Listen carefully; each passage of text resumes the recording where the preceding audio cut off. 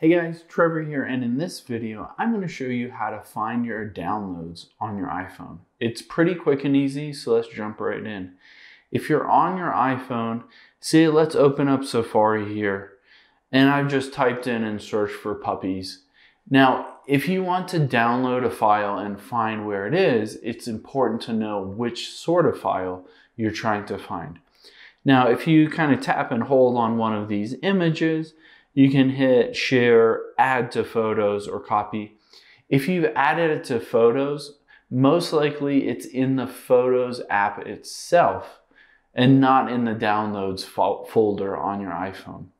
But if you've gone into your email and you've um, downloaded a PDF or a Word document or a zipped file or anything like that, and it said on Safari that has downloaded that file, you can access it from the Files app on your iPhone. So let's head into the App Store here and we'll just search for files.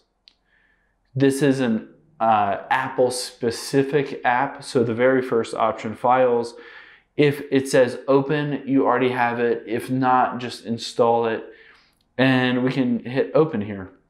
Now this will give you a kind of directory of all of the different files on your iPhone. So there are a couple different places that potentially those downloads would go. You can check on my iPhone right under iCloud Drive here, and there is a downloads folder in there. So you could go in there and potentially that file is within that downloads folder.